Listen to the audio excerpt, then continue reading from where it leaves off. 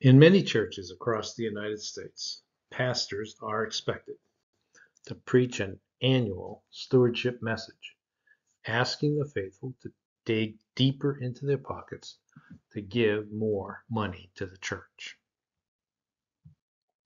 In the past, whenever I announced the date for Stewardship Sunday, attendance in the church would be low that day.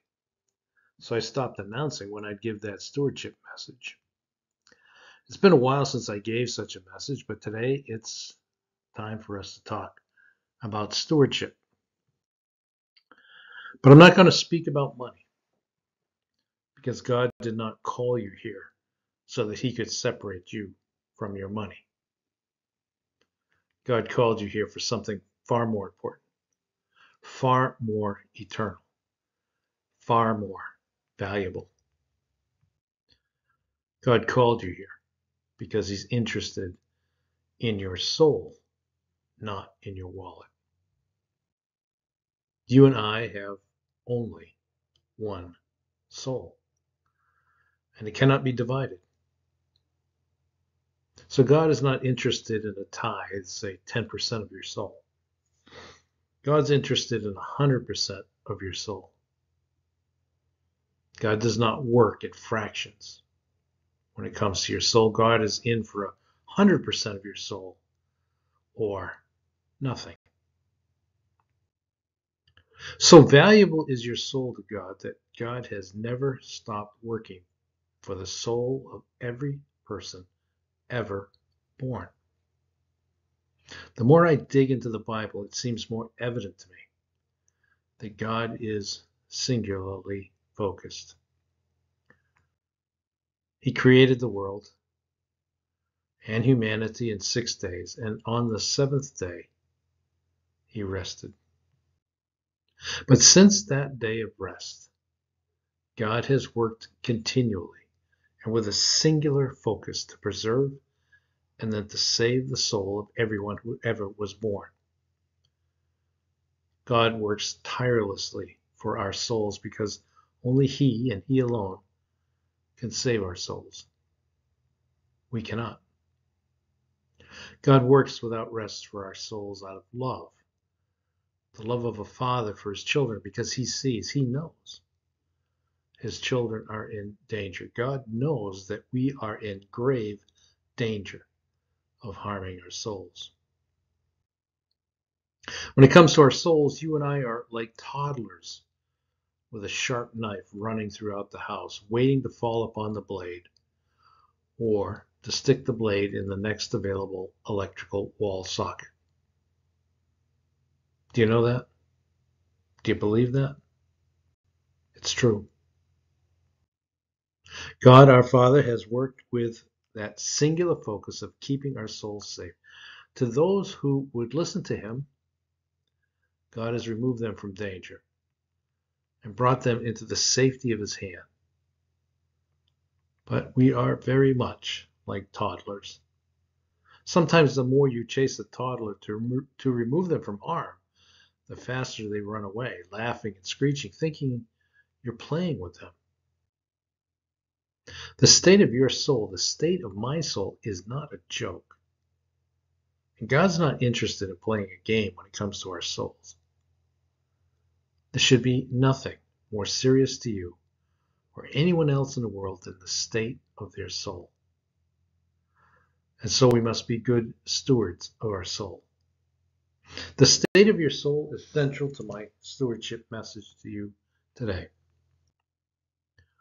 I want us to explore stewardship through the words of the Apostle Peter in his first letter. Peter was, of course, a disciple of Jesus, and he was one of two of Jesus' disciples who were subject to great scrutiny in the arrest of Jesus and immediately thereafter. The other disciple was, of course, Judas Iscariot. Now, when you look at Peter and Judas, there are some remarkable, truly remarkable similarities between the two men and one remarkable difference. How were Peter and Judas remarkably similar? Well, here are their similarities. They were disciples of Jesus. They learned from Jesus. They both saw Jesus perform countless miracles and healings. They received power from Jesus. With that power, each man healed others and drove out evil and demonic spirits from people across Galilee. They both participated in the Lord's Supper, receiving bread as the body of Jesus and wine as the blood of Jesus. They both struggled with human behaviors. Peter struggled with pride, and Judas with greed. Jesus predicted that both men would fail him. Judas betrayed Jesus into the hands of those seeking to arrest him. And Peter cursed and swore an oath that he knew, that he never knew, or never met Jesus. Both men were sorry they betrayed and denied Jesus. But one thing separated Peter from Judas. Judas was sorry. He was sorry for his actions. And he stopped caring about his physical life. And he stopped caring about his soul. Judas gave up all sense of stewardship as he ended his physical life. And he gave his soul away to be condemned. Peter was sorry for his denial of Jesus. And Peter stopped caring about his physical life as well. But Peter continued to care about his soul. And that's the key difference between Peter and Judas. For the sake of his whole soul, Peter repented and he received forgiveness offered by Jesus. And he was restored into fellowship with Jesus. And he entered eternity with a clean slate. Peter was a good steward of his soul. It was this Peter, this good steward of his soul, who wrote, Therefore, since Christ suffered in his body, arm yourselves.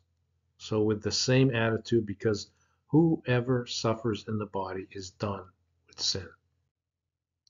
Let's look at what Peter started out with. First, Peter said, Christ suffered in his body. Christ, Jesus, the man Peter followed, who he denied and then repented to, that Jesus suffered bodily. Peter is being mild with his language here when he spoke of Christ's suffering. Jesus, God among us, allowed his body to be savagely beaten, nailed to the cross, and then allowed his body to die to meet God, the Father's singular plan, singular focus to save the souls of mankind including Peter, the repentant denier.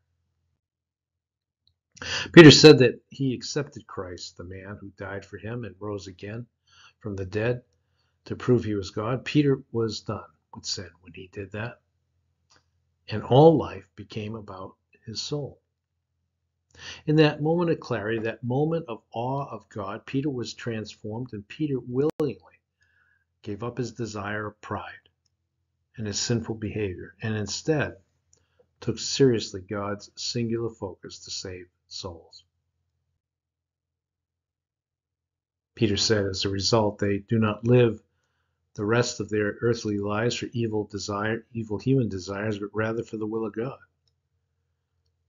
What is the will of God? Jesus said, For this is the will of my Father, that everyone who looks at the Son, Jesus Christ, and believes in him, Jesus, should have eternal life, and that I, Jesus, will raise them up on the last day.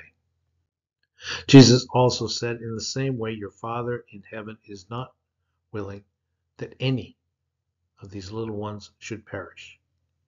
God's will, in Jesus' words, is singularly focused on saving your soul, on saving my soul.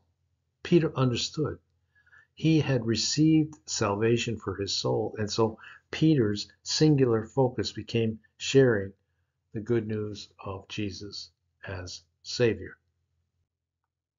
Peter, a steward of his soul, also became a steward of the gospel, the good news of Jesus Christ. So Peter followed Jesus' example of doing what he saw the Father do and bringing salvation of souls. And Peter became a steward of the gospel of Jesus. And so Peter wrote to his readers, For you have spent enough time in the past doing what pagans chose to do. And what was that? Living in debauchery, lust, drunkenness, orgies, carousing, and detestable idolatry. They, the pagans, are surprised that you, you Christians, don't join them in their darkness, their wild living. And so they heap abuse on you. They'll have to give an account to him who is already, who is ready to judge the living and the dead. For this is the reason the gospel was preached even to those who are now dead, so that they might be judged according to human standards in regard to the body, but live according to God in regard to the spirit. Peter was saying, You who believe in Christ, you've stopped sinning in the body.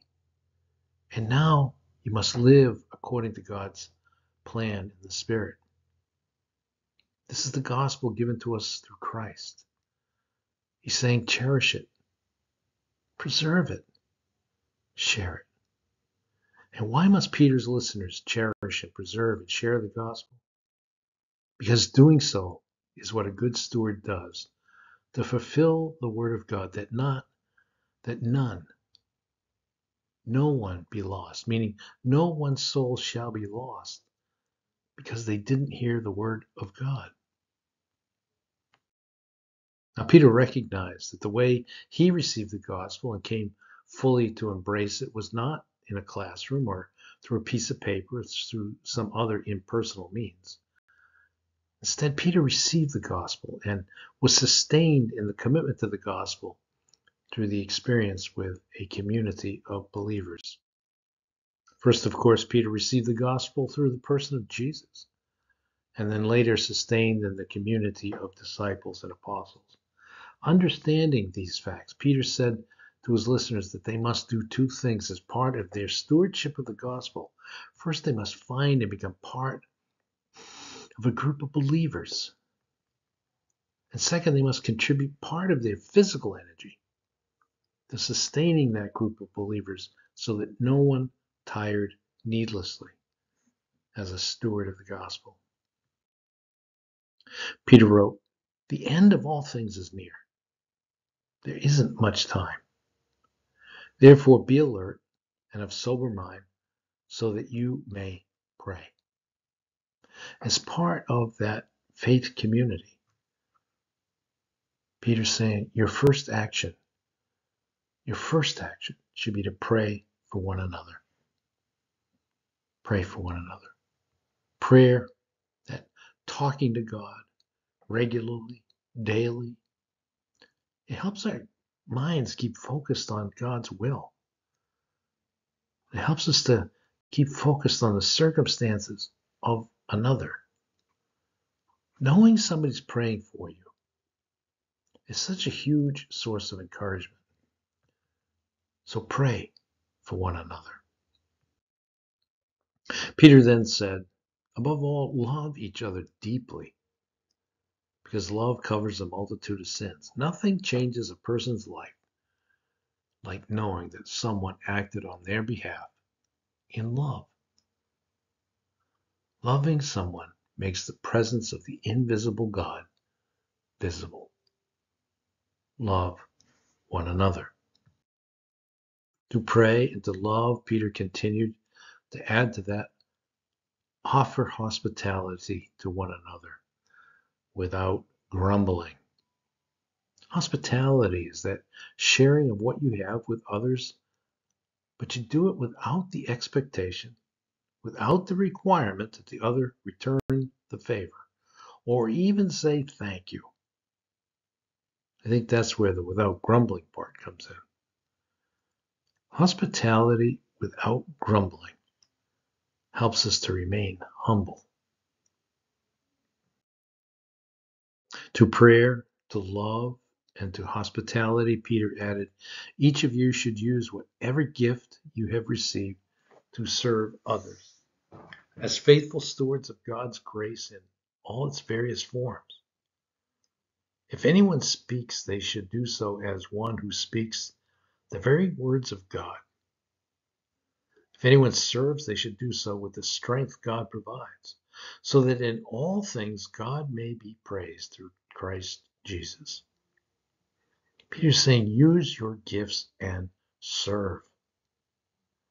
Speak, help, and encourage others are the believers that they do not needlessly tire in living in these sometimes confusing and depleting world. Make the existence of believers a, a joyful one and one that is not lonely. Then Peter said something hard. Peter said, Take those prayers, take that love, take that hospitality, take all of that service that you do for others, and give the glory to God. Give to God all the credit for anything, for everything that you do. Why should you do that? Because Jesus said, Let your light shine before others, that they may see your good deeds and glorify God in heaven, giving the glory to God. In doing so, we show the strength of our efforts comes from God. And that we do these things as for others as an expression of the joy, of the peace that we have within us. Because God has saved our souls. What then do we do with what Peter said here? Well, I think there's three things for us to do. First, be a good be be a good steward to your soul. Accept without reservation, without any hesitation, the salvation offered to you by Christ. You know, you can't genuinely help someone unless you first let your soul rest in the palm of God's hand. And so this is something we don't want to guess about. It's something we don't want to wonder, am I saved? Make it sure. Don't wait for a more convenient time to become a good steward. Peter said to his listeners, The end of all things is near. That statement is always true when applied to our lives. We don't know when our physical life would end. So don't wait. Don't wait to accept Christ. It's a big mistake. Second, be a good steward of that good news of the gospel message that God, through Jesus, saved your soul and that your life, regardless of how many years it may be, has been changed to be eternally with God. And being a good steward of the gospel, be willing to share with others what you have done and why you did that.